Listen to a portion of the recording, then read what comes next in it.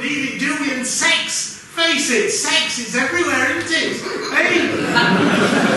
Do you want it? I don't want it, do you? Do you want it? Do you want it shoved in your face? Do you want it rammed down your throat? No, I bet you don't. I mean, ordinary folk like you and me and Dee and Julie-Ann, we don't give tuppence for it, do we? No,